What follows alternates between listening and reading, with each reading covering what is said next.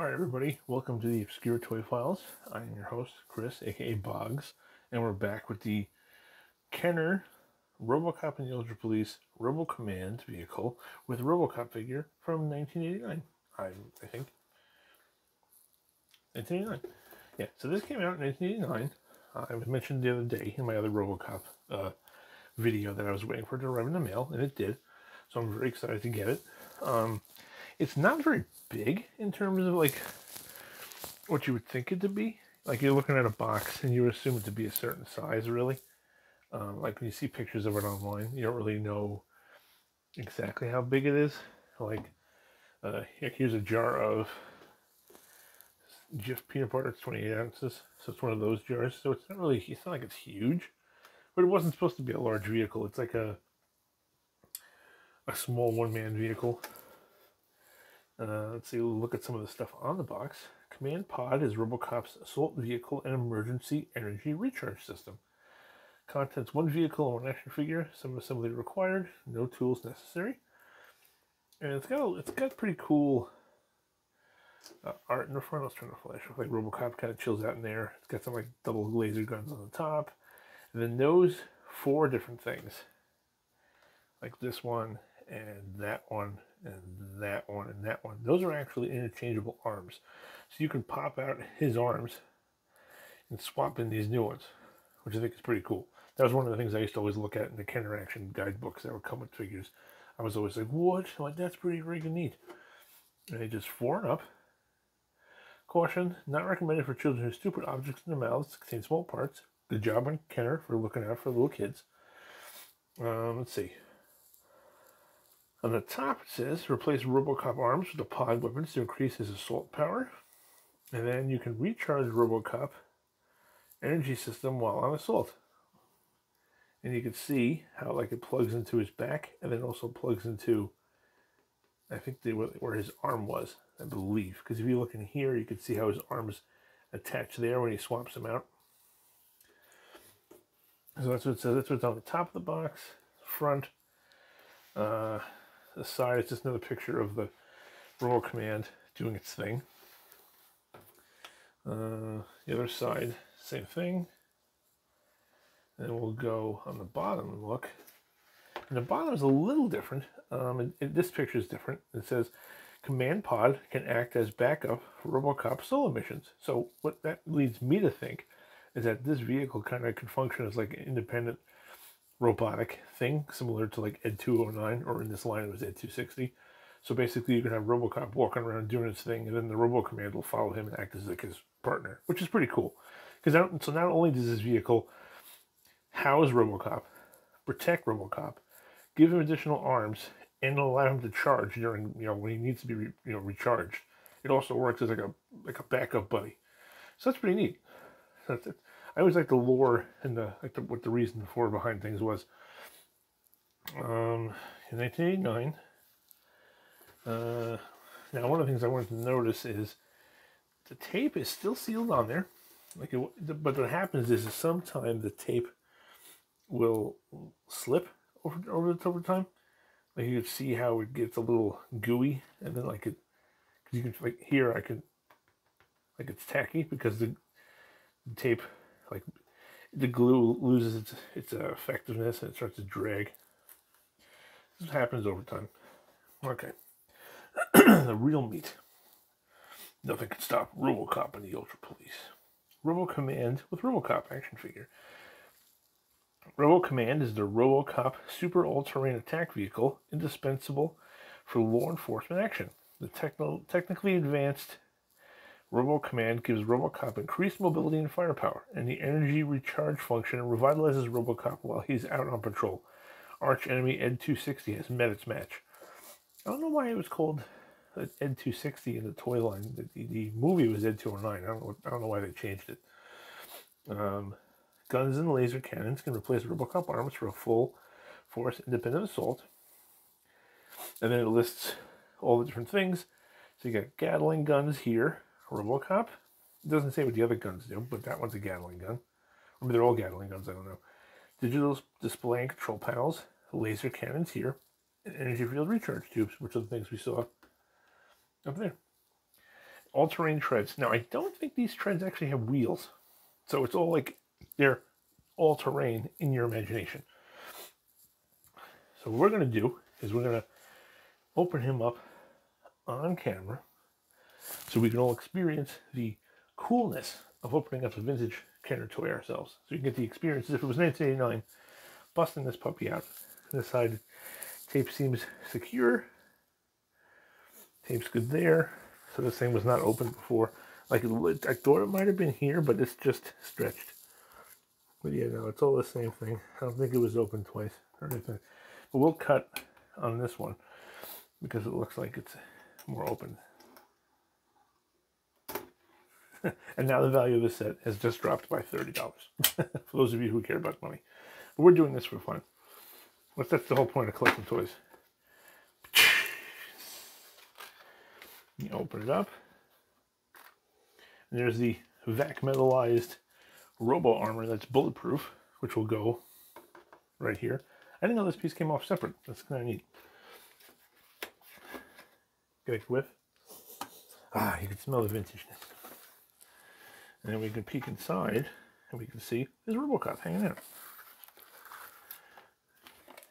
Like, yeah, like I said about the, the tape going, you can see right here. I'm sorry. See how the tape's just kind of like getting yellowed. And it just happens because over time, in 89, you're looking like 30 something years ago. The tape just starts to, like it's all sticky here. Because the tape just rots away. So, what's interesting about this Robocop, I don't know if this is the same one as the Gatling uh, Robocop they sold single carded, but this Robocop has removable arms, obviously.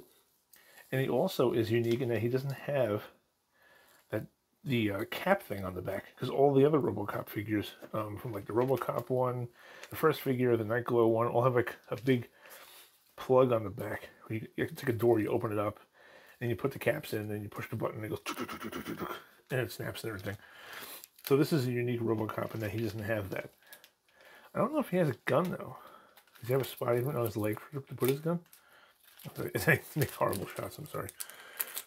Uh, I don't see any spot to put a gun. So I guess he's this this RoboCop is basically a Robo Command. Like, what do I need? To, what do I need to hold a gun for? I can replace my arms with guns. I'm amazing. What's cool also is you really can't tell that he's blue there, but you really you really see it more on the actual toy, but the prototype. Now this is a fun fact. Nine times out of ten, the, the item you see on here, this is a prototype. So what happens is when the when Kenner is producing this, they'll take photographs of the toy for the catalogs they used to give out at toy fair trade shows years ago. So those same pictures go on the boxes. So they'll take pictures of the prototype, which usually is like a resin prototype or a duplicate they have. Some it's rarely a production sample. It's usually something that was made just for uh, photography purposes, or this is to test things out. Like it's not a finalized toy which is why a lot of times like they'll say like the uh, colors may vary and stuff like that. So this is like the actual toy, and that's the prototype. So like that's the original original one that they used to show what this would look like. So that's kind of neat. That, and that's on old toys. Like you look at any old toys from back then, like you can, and if you have a good eye, you can check and you can like look at it, and you can see how the paint on this is more of like a matte finish and not like actual plastic. Whereas like he's actually molded in this color plastic, and he's just painted. Like this thing's he's just painted, but he's molded in that color. Because the general idea from toy companies was to mold the figure in the color plastic, so you don't have to do as many paint applications because paint applications cost more money, and that means more time, and it means they have to increase the price of the item. So they don't like having to do that. All right, what else we got here? Let's see. Looks like we got. I, have, in part, I apologize for having more easily accessible stuff. Usually I have my apparatus and whatnot, I don't have any of that with me. Okay, so this appears to be the actual Robo Command vehicle itself. So this looks like it's the base of it. It has some some glue residue from the tape that came loose. So I'll have to scrub that up a little bit. Oh yeah, that looks like, that looks like the base. Yeah, it looks like that part there. So Robocop will probably sit there. And then we got, oh, oh, oh, cool stuff. Nice, nice, nice. Let's put this over here. Get this out of the way. Now, like I said before, uh, Kenner Action toy guides were a staple of all Kenner box toys. Like if you bought a toy, why is the sticker sheet buried in there? Come out. No, you don't want to come out? Okay. Please. Yeah, so it comes with a sticker sheet. 87. Wait a minute. It's 89 now. So every every uh, Kenner toy, every boxed Kenner toy comes with one of the famous Kenner Action toy guides. And this one's from uh, 89, and it features Building Blasters, Megaforce, Robocop and the Ultra Police, turn the flash off for the glare, Real Ghostbusters, Blast Jets, Police Academy, and Starting Lineup. Now these, like I said, these are the things that made me get interested in this RoboCop line to begin with. I, mean, I knew about it as a kid, but and like I said, going looking through these over the years, like I used to put them in Ziploc bags and bring with me on class trips along my Motu Masters Universe mini comics. Just checking out all the stuff it was always so cool. I never got these. I always thought they were neat though. Um, my cousin had that. Yeah, so this isn't the last catalog for Ghostbusters. They had more stuff to come out. This was like almost towards the end. And it's funny because even this, I don't know if I show more guys. No, but this, so this is like the wave right before this. Because the original assortment, like I mentioned in the last video, was just him, was Robocop and these three guys. And then they added Anne Lewis and Sergeant Reed. And then there was just Headhunter and Nitro. And they added Chainsaw and Dr. McNamara. So they added stuff. They kept increasing the line. Yes, that's like something they did too. Available fall 1989. That'd be on these things a lot too. So like this stuff was still coming. This was when RoboCop and the Ultra Police was doing okay at retail, and people were picking it up and giving new items out. So they had things like, yeah, hey, see this Robo Jailer? It's coming out in 1989 in the fall. Keep keep your eyes out. Same with the RoboCop law enforcement kit. I actually just got this. I got the Skull Hog on eBay. That's on the way too. So we're gonna have a couple of RoboCop vehicles. this line, I'm just gonna go through this quick so I don't stop the thing. I never remember building blasters. Like I've never seen them in these books, but I never actually had any. And Megaforce, I actually just have a bunch of these. I'm gonna be looking at those soon. I got uh I got this rocket launcher set, that rocket launcher set, these VTOL sets. Um, I got the Brimstone, the Tar Tracks, Strike Master, Scorpion. Yeah, I got those will go up here too. We'll check those out. And then I think the rest of this is like these are pretty cool. Sorry, everybody. Just kind of flip them through. Oh, and then, then starting lineup. We don't care about them. They flip the rest of the book. Oh, then Police Academy. Oh, fun fact: this uh, Blast Jets thing here, uh, Kenner reused that for a Batman Dark Knight Collection toy. They just did that for everything. They loved using stuff over and over again. All right, back to the RoboCop review. A brief message from our sponsor, Kenner. And here's the instructions for the Robo Command police vehicle. Robo Command. Let's see. I can open it, which apparently is not easy to do. Oh, for the love of Pete. Okay, here we go. Whoa, there are a lot of instructions. Holy crow. Control panel detail. Slide. Da, da, da, Assemble robo armor by inserting front pin, pin, front pin first, and then rotating down and snapping. Happens to the slot. Okay. Yeah, it doesn't look like there's any wheels. That, that, that that's kind of a bummer. I would have uh, definitely, uh, I would have definitely uh, put wheels on the bottom of it. So I think that's kind of like a, a miss on uh, Kenner's part was not doing that. Let's get the rest of the Robo Command out. Everything should be in here. Oh, ho, there we go. And here are the arms. Actually, this kind of opens like this. Get up close and personal with everything. Yeah, it's hard to do this with one hand. Usually I have a I have a stand that has a gripping thing on it. Let's put this over there. And then here we got the Robo Command set and all of its misassembled pieces. This is so cool to actually have this thing in front of me because, like I said, I've been seeing it in those little books for, for decades. So to actually have it in person is just bananas. It's so cool to actually have it so I can look at it right now and check it out. All right, so we're going to see if we can put, I'm to probably pause it to put the labels on because that's that I can't do with one hand. But I'm to, I'm to see if I can put this thing together. here, here at the Obscura Toy Files, we like to make sure we give you the full, full experience of putting the toy together. Because that was part of the fun back then too, was putting this stuff together.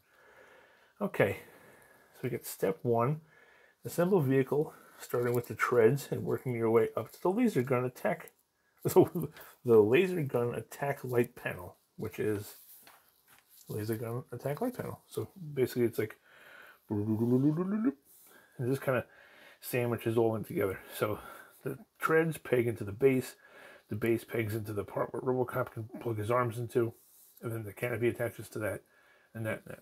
Okay. Now this was actually good because sometimes uh, vac metal stuff will chip or it will bleed.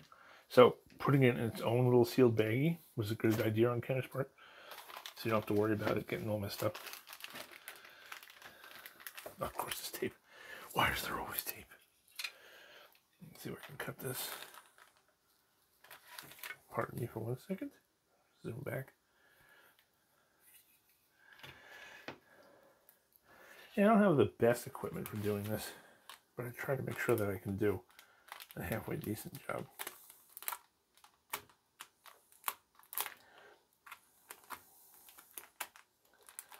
Okay, that was not good.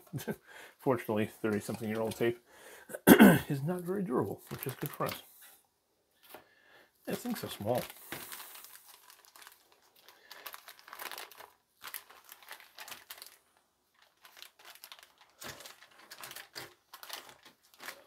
Case there. Boop, boop, boop. Nice. Yeah, that would have been really cool if they put uh, wheels on the bottom. I'm surprised they didn't. It's, you know, usually it's a given when it comes to treaded vehicles. I mean, the, the sculpting detail on it is really nice. They did a very good job on it. Like it looks like it can move. We got our treads. We got our base section.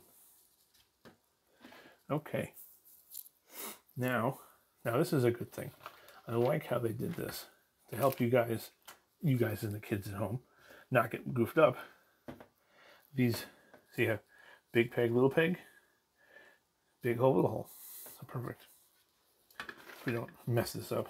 Well, like I said, you, that's the other thing. You, you could always goof it up and put the insides the wrong way.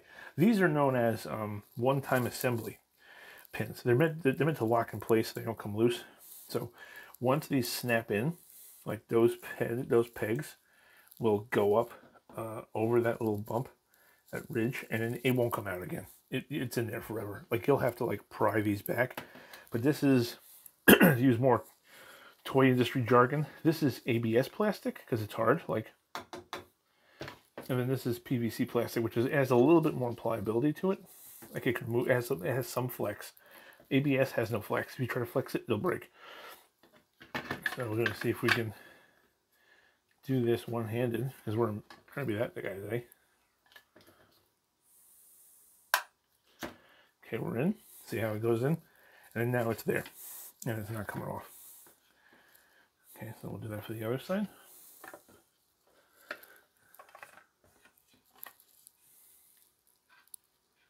Got it there. Locked in. Okay. Yeah, so another guy did a review of this on YouTube and he kind of seemed just like rather blasé about it. I'm like, putting together a vintage toy, dude, you should have a little fun. Some people just do things differently. You know, this two, these two have one-time assembly clips. It's like I said, it's because once it clips on, it won't come off again.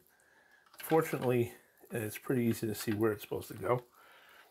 It's not really like a mystery. It just goes on either side of this. Kenner did a very good job of lining up all the parts so that you can easily put it together. We're not having to worry about goofing anything up. But before I click that in, let's make sure. I just had a thought. I don't know how these hoses attach. Like these hoses might attach underneath it. And then I would be screwed. Then I wouldn't be able to get the thing on. And That would suck. So for a second I was like, wait, where are the hoses? And I go, oh, they must be in here with the arms. Let's take a look. Okay. All right, this is good. All right, so these just peg in. They just peg in. See, I was thinking that these had to like maybe go in underneath, but they don't, so it's fine. So we're okay. So those little tubes over there can just chill out. And we can go back to putting on the control panel for the robo command.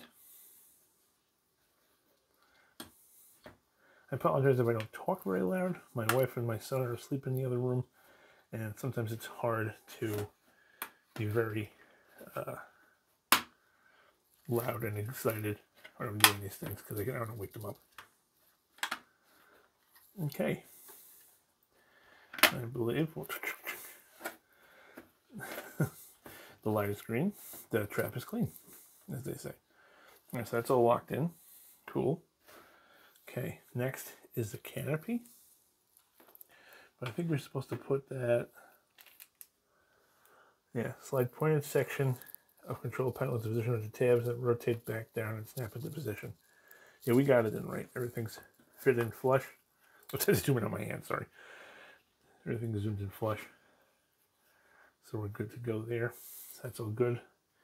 Robo armor detail. Uh, some robo armor by inserting front pin first and rotating down and snapping slide pins into slots. Okay. We gotta open this too. Oh my god, this tape. It's bane of my existence. And it sucks because it's old tape. Old tape is not fun. But old tape is not much of a match for a razor blade. Even if I gently, gently grazed it. Pecan.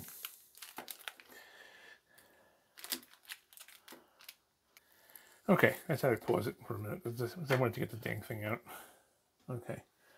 Now, goes with this rounder part towards the front. So they told us here. Assemble robo armor by inserting front pin first, and then snapping side pins into slots. So this goes right in there. You got your pin here, and it has a bit of a like a plus sign look to it. So it has a bit of a ridge. This just goes in here like this. Rests there nicely. And then just one, two, boom. And you're done. And it's in. And like I said, this is one-time assembly. Actually, no, that one's not too bad. This might be, this, you could probably pop that out again if you needed to. Okay, so that's done. Um, now we attach this to here which might be hard to do with one hand. But we're going to give it the old college try. Get one peg in. That's two. We're in. Robo commands closes. And we're good. We're shut up and ready to roll. And we're going to get our laser gun light panel, which has these three sockets on it with the three pegs. Peg that on there. And there we have it. The Robo Command vehicle, for the most part, is assembled. Except for... okay, it really opens all the way. And these just peg in here. They look to be the same. So I go either just peg it in, boop like that, and boop like that and close that up and we're good to go there robo command ready to go oh wait you get robocop back in what are we doing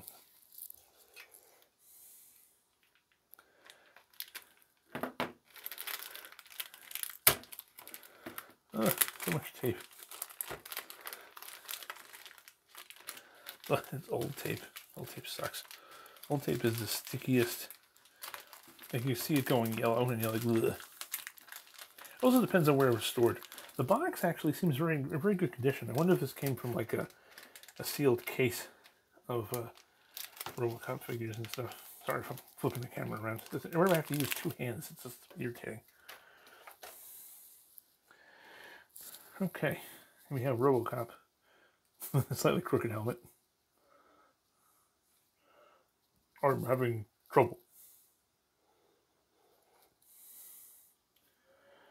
Interesting. So I'm going to go up. Normal points of articulation. Cool. We have our Robocop. I think it's Terminator music, actually. Okay, so we're going to pause. And we're going to get this decal shit. Decal shit. And get this decal sticker applied. So we'll be back in two seconds. So we'll just set ourselves up like this.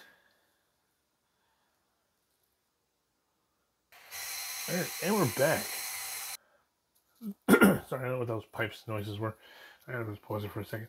Alright, so we're done, and the Robo Command is all decked out with its stickers. Now, the sticker sheet applied rather well. Um, they weren't all dried out or anything. They adhered nicely, so that was a that's a bonus. Sometimes you never know because for years I used to think that if a vehicle or toy was new in the box and never touched, that meant it was perfect and it would come out of there, you know, with no flaws at all. The real truth of the matter is, it all depends on where this is stored.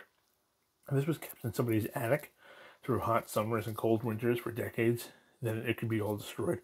Like not destroyed, but the sticker could sticker goo could dry out. Because remember, this sheet is just sitting in the box. It's not in a Ziploc bag or anything, protected from the elements. Just hanging out in a box with tape on it.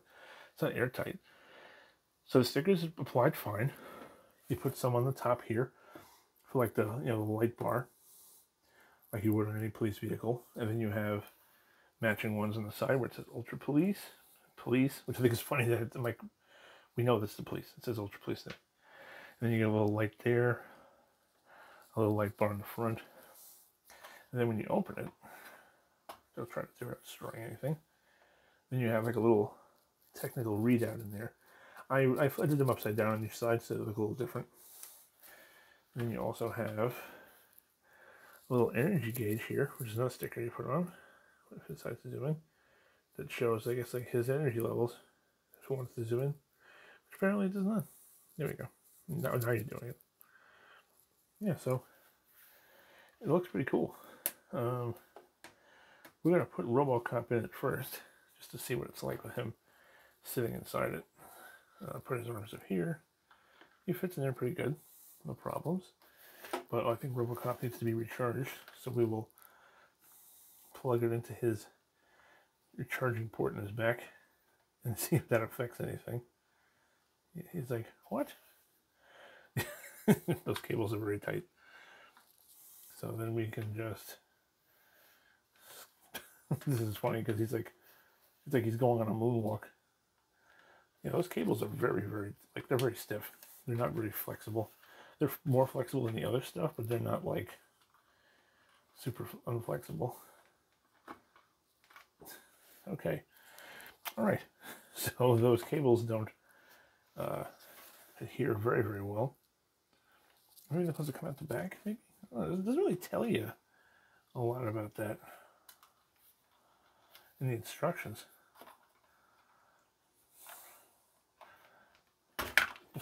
Was stuck. Sorry, guys. Okay. We'll just forego plugging that in. Let's see if we can close this up with him inside. We'll go from there. Right, now that works much better. So I guess you have to just you have to just bend them around a little bit, put them in some boiling water, get them a little soft. But now Robocop is in the Robo Command. So I'll move this box out of the way. So you don't got to worry about seeing that. And yeah, he's in the Robo Command, ready to come with me, or there might be trouble. Your move, creep. On this is bent. So these pieces are removable, as we saw before, and you peg them in. Damn, they peg them tight too. Holy fuck. Okay. And each of them are cool looking.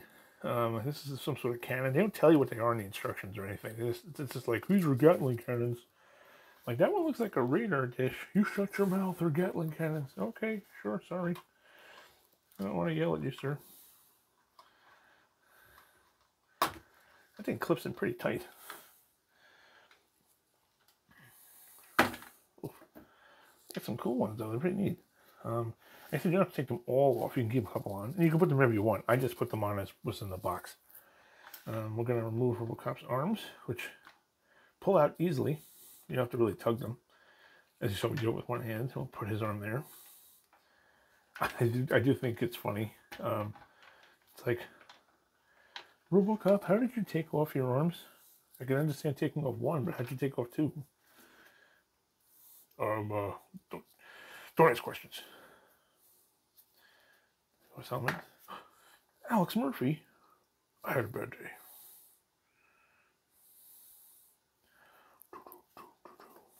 I got Terminator music. I keep doing that. Oh, what have I done? Do do do do do. We're experiencing a wardrobe malfunction on Robocop.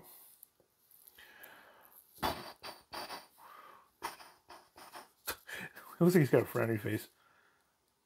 I'm upset. Me. Would be less upset with giant Gatling gun arms? Well, maybe. Click. That's a nice little click. And these are soft. Like, they're like a pliable rubber, which is good, which means they won't snap off in these. So you're less likely to tear these off when you pull them out of there, which is a good idea and well, well thought out on Kenner's part. Yeah, because now you get crazy Gatling gun arm Robocop. which is good because the demo demolishers team for the Vandals are like toxic waste people and flamethrowers. So I guess he's like, all right, that's it. I'm bringing in the big guns. Literally, dead or alive, you're coming with me.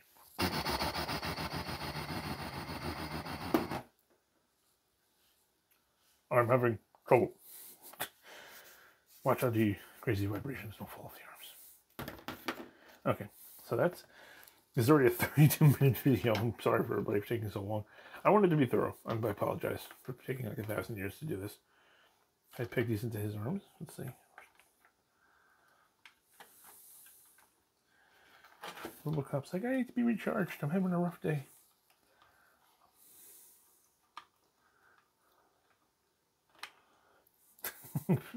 Robocop, what happened to you? Oh, uh, yeah, I didn't want to know. Where do you see the other guy? And that doesn't work too bad. So you can do that too. That's another option. Okay, and we'll put these arms back on. And they just peg it on the top like this. You just, this little click, and they're on there. I mean, there is some recoil when you turn them, like this, and turn smooth. So, oh, I didn't put it on all the way. All right, there we go. Yeah, now it does better. Okay, good. Okay, so this is the Kenner 1989 Robocop and the Ultra Police RoboCommand set. And I highly recommend picking it up. It's a fun way to have a different Robocop. You get a little vehicle that can become a attack partner. So that even if you just start off, like if you're getting the line, you have some vandals, and you only get this, you only get one Robocop, get this one because he gets the extra arms, he gets the cool vehicles just for him, and then he can roll into battle and ready to just f up people. Because, like I said, you pop him out of there, and then the RoboCommand is like his backup. So yeah, I think it's a great little vehicle. Um, I paid, um, I got this on eBay.